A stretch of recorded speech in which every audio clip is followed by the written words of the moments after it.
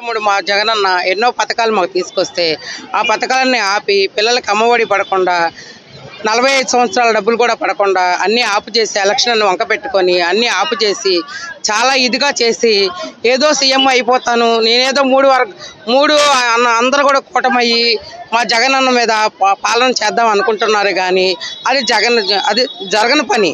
కానీ మళ్ళీ సీఎం అయ్యేది మా అన్నే.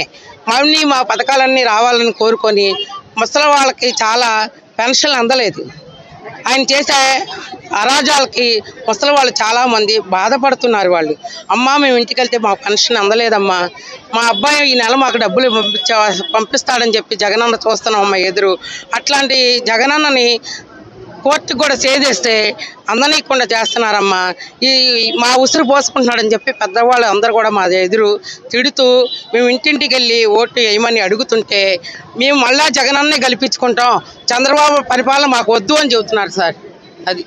మాకు అక్కచెల్లెమ్మలకు వచ్చే చేయూత కానీ ఇంటికి వచ్చే ప్రతి ఒక్క పథకం గురించి మళ్ళీ వెళ్ళి కోర్టులో స్టే తీసుకొచ్చి ఈరోజు మాకు ఇవ్వడం కోసం అని చెప్పని ఫైట్ చేస్తుంటే మళ్ళీ చంద్రబాబు నాయుడు గారు వాళ్ళు దాన్ని కూడా వాళ్ళ బుద్ధిని చూపించుకున్నారు ఇక్కడ. అది కూడా ఆపించేశారు. ప్రతి ఒక్క అక్క చెల్లెమ్మలు ఉసురు పోసుకుంటున్నట్టు మాత్రం వాళ్ళైతే తప్పకుండా మా ఉసురు పోసుకుంటున్నారు. మా అన్న మా కోసం ఫైట్ చేసి మరి కోర్టుకి వెళ్ళి స్టే తీసుకొచ్చి నేను నా అక్క చెల్లెమ్మలకి ఇవ్వాలి అని చెప్పని మా జగనన్న మా కోసం ఎంత కష్టపడుతుంటే వీళ్ళు దుర్మార్గంగా ఆలోచించి ఈ విధంగా అయితే చేస్తున్నారు. ఇంకేం చెప్పాలి? నాకు మా జగనన్న పాలన మళ్ళీ రావాలి. మళ్ళీ మా అక్క చెల్లెమ్మలు బడుగు బలహీన వర్గాలు అందరూ బాగుపడాలని మేమైతే మనస్ఫూర్తిగా కోరుకుంటున్నాం. మా జగనన్నే మళ్ళీ వస్తారు. ఎంత దుర్మార్గుడు అంటే ముసలాళ్ళకి ఇంటికి వచ్చి పెన్షన్ ఇస్తున్న వాళ్ళని చేసి పాపం వాళ్ళని వచ్చి అక్కడ తెచ్చుకోండి ఇక్కడ తెచ్చుకోండి అని ఇబ్బంది పెడుతున్నారు. ముసలాళ్ళు ఎంతో తిట్టుకుంటున్నారు. పిల్లలకి రీఇంబర్స్మెంట్ రాలేదు మాకు డబ్బులు పడలేదు మా మలన మాకు సర్టిఫికెట్లు రాలేదు అని చాలా ఇబ్బంది పడుతున్నారు పిల్లలు.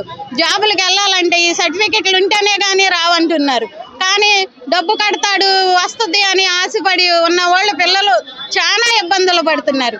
ఈ చంద్రబాబు నాయుడు అన్నీ అబద్ధాలు కోరే విషయంలో కానీ మంచి విషయం అయితే చేసింది లేదు. ఇంతవరకు వాడి విధానం ఇంతవరకు వాళ్ళని వాళ్ళని పెంచుకోవడమే తప్ప మనలాంటి పేదల్ని చూడాలన్న ఆశయం అయితే చంద్రబాబు నాయుడుకు లేదు. దానికి తోడు ఇలా ఈ ముగ్గురిని వేసుకొని వచ్చి మనల్ని ఇబ్బంది పెడుతున్నాడు. అది అందరూ తెలుసుకోవాలని ప్రతి మహిళ ప్రతి స్త్రీ కూడా అసలు మతి మగవాళ్ళు కూడా అసలు మన మగవాళ్ళైనా ఆడవాళ్ళమైనా